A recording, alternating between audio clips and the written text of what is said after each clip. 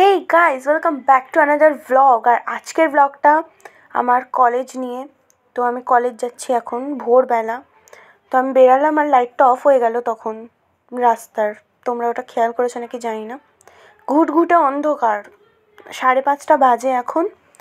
তো এই যে আমি বাস স্ট্যান্ডে এখন এখন বাজে পাঁচটা পঞ্চাশ মতো। ঠিক আছে।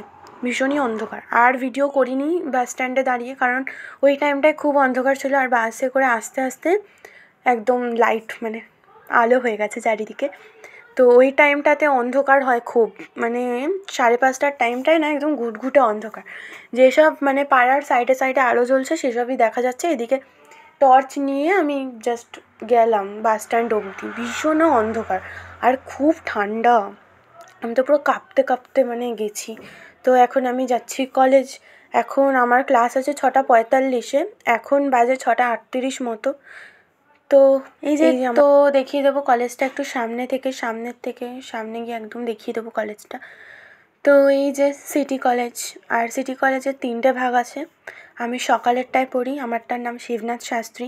অ্যান্ড দুপুরেরটা হেরেম্বচন্দ্র। আর বিকেলেরটা প্রফুল্ল। তো এই যে এই সাইডে দেখো, দুই সাইডে যে গার্ডেন গার্ডেন ব্যাপারটা, এই ব্যাপারটা আমার ভীষণ ভালো লাগে। আমার খুব এনজয় করি এই জায়গাটা। আমার বেশ প্রিয় জায়গা এটা কলেজের মধ্যে।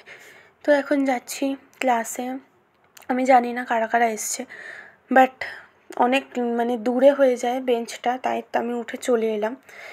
অ্যান্ড উঠে এসেই দেখলাম যে শিপ্রা এসে গেছে। তো এই যে শিপ্রা, শিপরা হাই করে দিয়েছে। তো এই যে ক্লাস শুরু হয়ে গেছে প্রফেসর চলে এসছে। স্যার এসে বোর্ডটা স্টার্ট করছিল।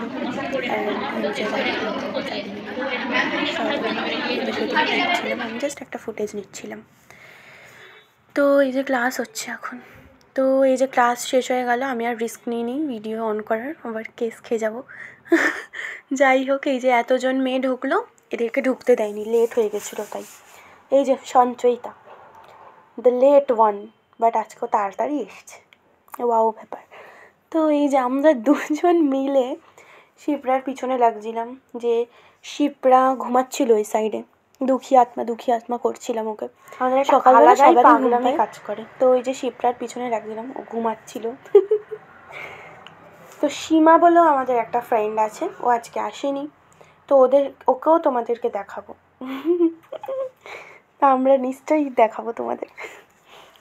তো এই যে বেরিয়ে গেছি।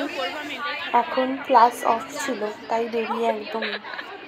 দেখো তো এটা সঞ্চয়কারী ফ্রেন্ড হয়। ও আবার একটুখানি হ্যালো করে দিল। ও খুব কিউট ছিল। তো এই যে ব্রেক টাইম কলেজের একদম পাশে। বেরিয়েই দেখা যায় কচুরির দোকান আছে। সেখানে সঞ্চয়িতা আজকে নিয়ে এসেছিল। মানে ও খোঁজ দিয়েছে এখানে কচুরি পাওয়া যায়। আর কচুরিটা খুব ভালো খেতে। আর আমি সঞ্চয়িতাকে বোঝাচ্ছিলাম, ওকে খুব ভদ্র লাগছে টুপিটা পরে। এই যে থালিটা। থালিটার দাম মাত্র কুড়ি টাকা ছিল গাইজ তো এই যে আমরা এখন চলে এসেছি ওপরে লাইব্রেরিতে যাব।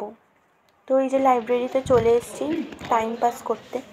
সঞ্চয়িতা একটা বই চেয়েছিল। বাট গল্পের বই দেয়নি বলেছে এখানে বসে গল্পের বই পড়া যাবে না বাড়িতে নিয়ে যেতে হবে। তাই এই যে আমরা আবার আর একটা একটা ক্লাসে ঢুকে গেছিলাম যে ক্লাসটা খালি ছিল। ওখানে বসে গান গাইছে। এত সুন্দর জায়গাটা দেখেও কী গান মাথায় এসছে টুম্পা শোনা জানি না কেন। ও হ্যাঁ ওর জানলাটা দেখে নাকি যে একটা লাইনে আছে বউ পালালো জানলা দিয়ে তো সেটা মনে এসেছিল। তো এই যে আমরা ফটো তুলেছিলাম। তো এই যে সেমিনারের ঘরে এসে দেখলাম যে সেমিনার নাকি হচ্ছে না। তো আজকের ভিডিওটা এতটাই রেখে দিলাম, আর কিছু করলাম না।